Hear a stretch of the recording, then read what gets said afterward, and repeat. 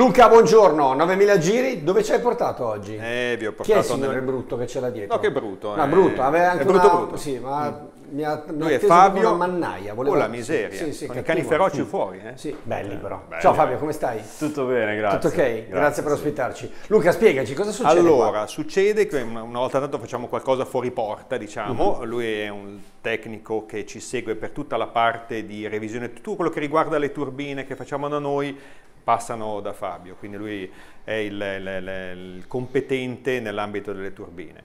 Quindi, mh, ricapitolo velocemente quello che abbiamo più o meno spiegato tante volte.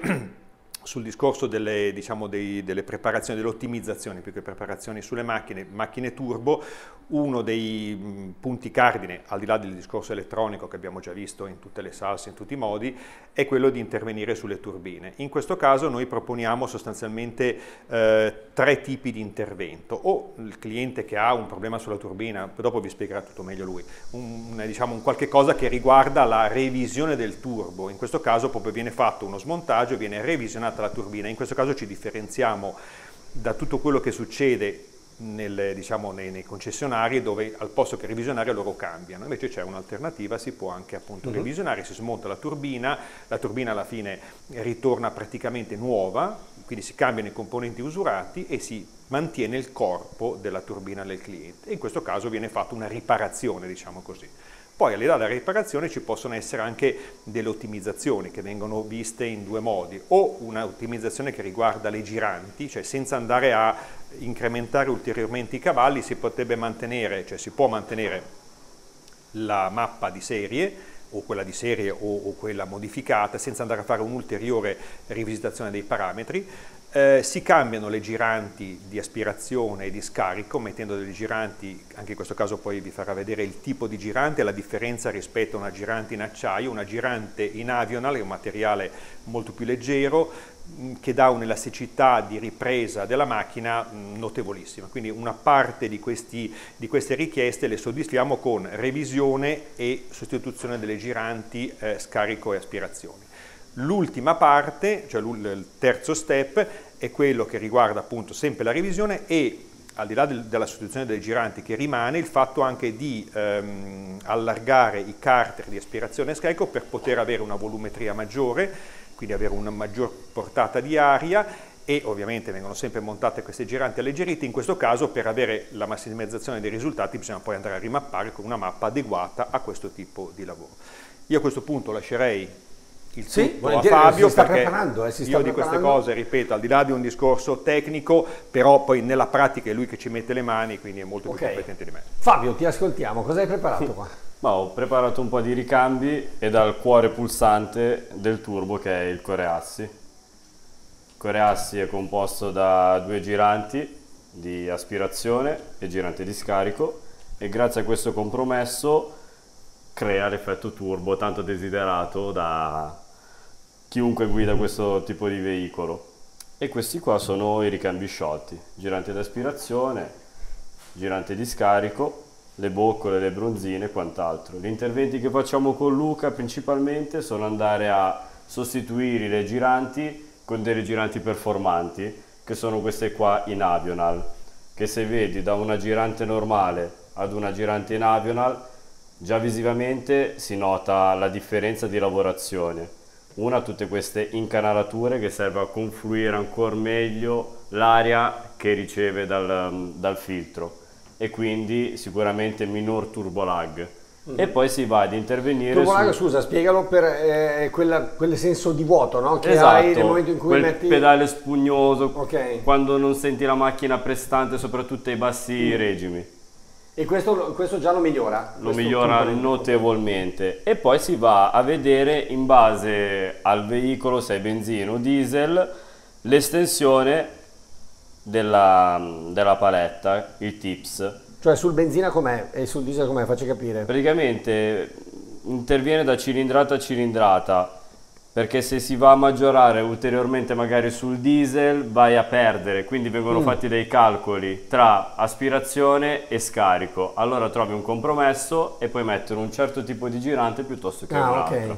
Cioè non è detto che aumentandola mi- No, migliori. anzi, può Ah, anche vedi? peggiorare. Va in cavitazione e ti dà sempre quell'effetto che buca. e non ce la fai più a riprenderla neanche da mappa. Quindi vanno fatte delle misurazioni dallo scarico e tra l'aspirazione, si fanno due misurazioni e si fa un calcolo dell'apporto d'aria e scarico mm. per trovare il miglior compromesso. Ok. E poi si vanno a scegliere le, le forme delle giranti, può essere un 6 più 6, che è il numero delle palette, un 5 pale, o in tanti casi ci sono queste qua che sui benzina stanno montando tantissimo, che sono le reverse, praticamente hanno una rotazione al contrario. Mm.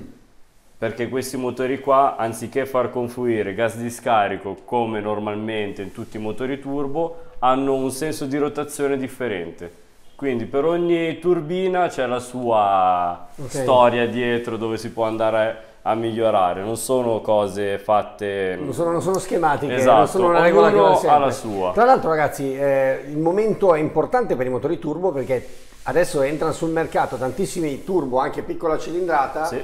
No? Dai, sì. ehm, noi stiamo lavorando tantissimo, ad esempio col 1500 Turbo, che poi lo monta la Mercedes, lo monta la Volkswagen sì. e poi tutte le derivazioni, cioè dalla Ma Skoda. quella, quella dinastia di motori 1000, no? Con sì, i 1000, 1200. Anche, eh. anche. Adesso quelli che vanno di moda, di moda, nel senso che sono i più gettonati sì. e dove noi lavoriamo tanto sono i 1500. Poi anche i 1000 EcoBoost, anche quelli stanno prendendo piede. Cioè, adesso si stanno un po' abbassando le cilindrate, probabilmente per stare dentro nei parametri di, eh sì, di, di, di inquinamento. Certo, sì. e, e sono cilindrate più piccole, per cui anche più appetibili. Esempio, noi abbiamo lavorato tantissimo, al di là del discorso turbina, anche con, altri, diciamo, con altre modifiche, sui 1500 della, 7.5 e 1500 turbo della Volkswagen, ne abbiamo visti veramente tanti, tanti, tanti. No, tanti. una volta turbi, turbo era solo su motori... Sì, motori grossi, grossi motori no? già di fascia alta, adesso stanno eh, entrando su delle, delle, delle, entry level, cioè certo. sulla, sulla, anche le, le, mini, ho guardato anche delle mini recenti, c'è una mini per neopatentati, non c'era mai capitato, neopatentati già turbo.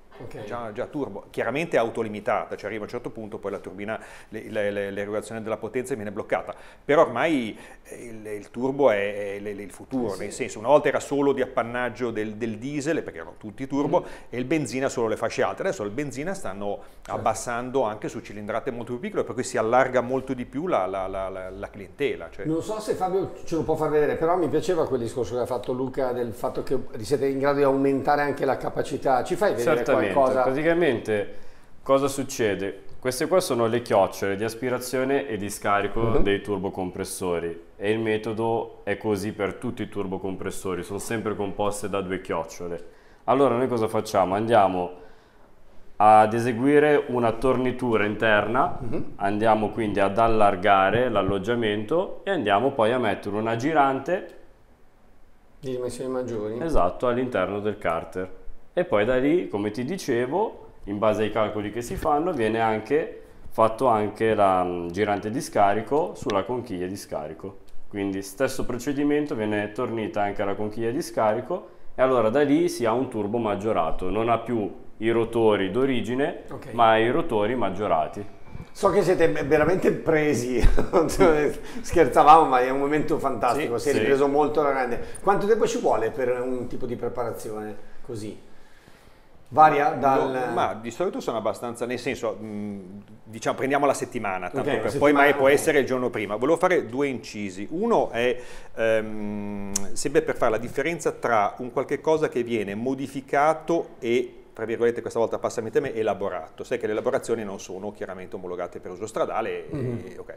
e, viceversa si può ottenere un ottimo risultato anche con lo step 1, cioè tu puoi fare una macchina che ha le stesse caratteristiche, non vari cavalli, mh, mm, lasci tutto eh, eh, inalterato a livello di potenza, per cui se dovessero fare un controllo non ti possono dire assolutamente nulla, gli monti, le giranti in avion, la macchina è Già molto più scattante, chiaro. molto più brillante, questo secondo me è una discriminante da tenere presente in maniera molto... Mm, poi ci sono quelli che viceversa, a loro rischio e pericolo, vogliono modificare i cavalli, allora lì non c'è limite, fai mm. la maggiorazione del turbo, monti l'intercooler, fai quello che vuoi. Ultimo inciso che volevo fare, nel senso che noi siamo molto attenti anche a queste cose, eh, il montaggio e smontaggio della turbina comporta anche, eh, e questo eh, te lo può dire meglio Fabio, una serie, cioè noi quando consegniamo la macchina non è che montiamo e smontiamo il turbo e basta, la macchina viene anche seguita con una procedura che deve essere eh, rigorosa, deve essere rispettata, per cui viene cambiato l'olio, viene cambiato il filtro dell'olio e generalmente le, i tubi di mandate di scarico dell'olio, in maniera okay. tale che viene fatto un, minimo tagliano che però è fondamentale per poter garantire la garanzia al cliente. Correggimi se sbaglio. No, viene pulito tutto l'impianto di lubrificazione perché comunque la turbina girando con mm. l'olio, se c'è un minimo di impurità l'alberino ne risente, come in Ce questo caso qua. Sì. Ah, ecco, esatto, questo è un alberino usato che ha problemi di temperatura e di fatti è diventato violaceo, questo per una scarsa, una scarsa resa d'olio, quindi mm. non essendo ben lubrificato sullo stelo diventa blu e poi da lì passa alla rottura e le rotture possono essere varie o come in questo caso che entrano corpi estranei all'interno e limano tutte le palette o nella parte di scarico stesso procedimento.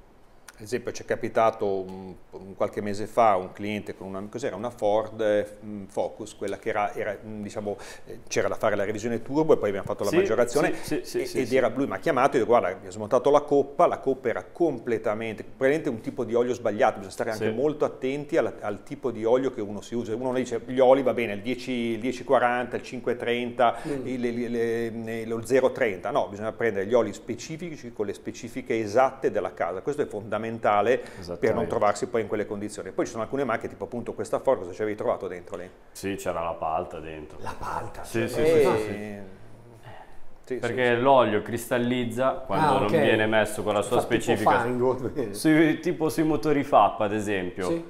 che comunque subiscono degli sbalzi termici fortissimi se l'olio non ha le sue specifiche cristallizza e va a intasare tutti i condotti dell'olio quindi il tubo di mandata, il pescante, mm-hmm. la pompa dell'olio e poi da lì il turbo è il primo che okay. ne risente. Vi faccio una domanda scomoda, c'è stato un periodo, adesso non so, però ero proprietario di una BMW 3000, un X5 3000 turbo diesel e eh, io come tanti altri avevamo avuto il problema della turbina, no? Okay. Che cosa succedeva? Cos'è che avevano quelle turbine lì? E bah, succede ancora, non credo, lì, no. lì sono due i problemi principali, il FAP che tendeva ad intasarsi per mm. le mancate rigenerazioni o il decantatore volgarmente detto lo sfiato motore. Me ne fai vedere? Ah, no, lo sfiato motore, sì, che è dove c'è il collettore d'aspirazione mm -hmm. del turbo.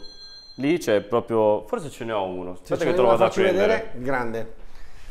Perché è importante stiamo capire facendo questi... lo stesso intervento su quella macchina lì. Questa che su Abbiamo tirato giù la turbina, stiamo facendo... Per cui qualche problema c'è ancora ogni tanto? Sì. Purtroppo sì, vedi? No, no, no, no problemi No, sono aspetti perché che, che, a livello pratico, no? Perché è vero che le macchine sono migliorate, vanno più forte, no? No, no ma ce ne sono ancora. Ad esempio il discorso dei FAP all'inizio era un disastro, c'erano più i motori... Eh... Questa qua è, è una valvola dove passano dentro tutti i vapori dell'olio. Questa mm. qua si intasava, soprattutto sui motori vecchi perché aveva dentro un filtro mm. e quindi creava contropressione. Le contropressioni andavano al turbo e ne provocava la rottura.